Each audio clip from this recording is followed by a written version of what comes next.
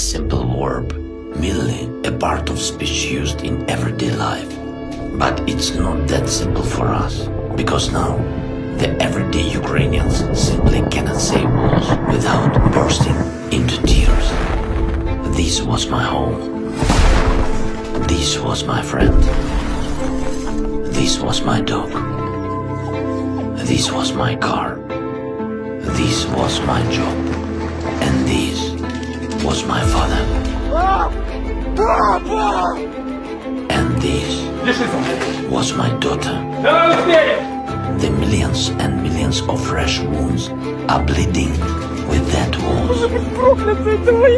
Russia has drowned Ukraine in tears and blood and children corpses.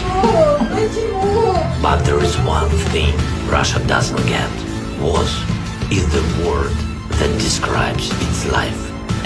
Ukrainians already know what will come next. We will win. And there will be new houses. There will be new cities. There will be new dreams. There will be a new story. There will be, there's no doubt. And those we've lost will be remembered. And we will sing again. And we will celebrate anew. Ukraine was beautiful.